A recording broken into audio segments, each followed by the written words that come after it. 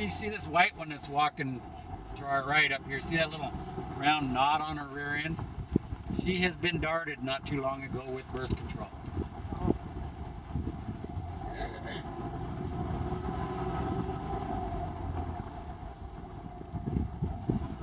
Here goes some white birds down by the river. Those are pelicans.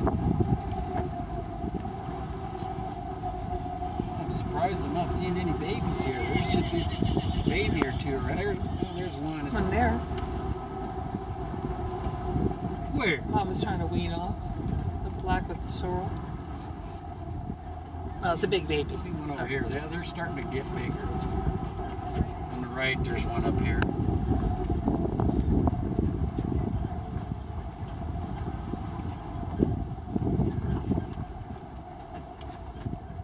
Now it's kind of nice to have babies born because it it makes for a happy herd.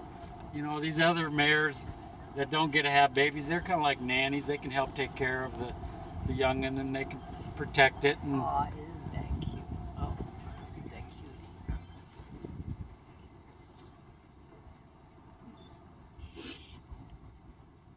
Hello. you like her? Yeah, Hi. yeah. Hello. Did you want to come for a ride? Yes.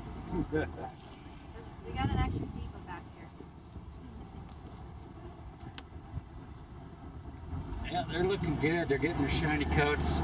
Getting all their winter coats are wearing off. The older horses are still having a little shag on them because it takes them longer for them to get rid of their winter coats. There's another bit. There you go.